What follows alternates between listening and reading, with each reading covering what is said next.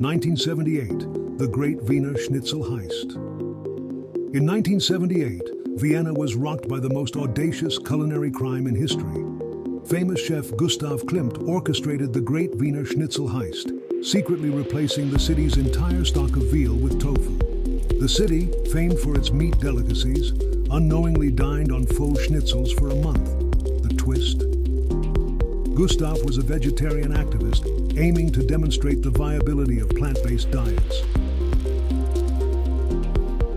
Dublin, 1977. The Great Jellyfish Uprising saw Dr. Eamon O'Sullivan, an eccentric marine biologist in a ludicrous jellyfish costume, leading a jellyfish army, claiming to speak with them.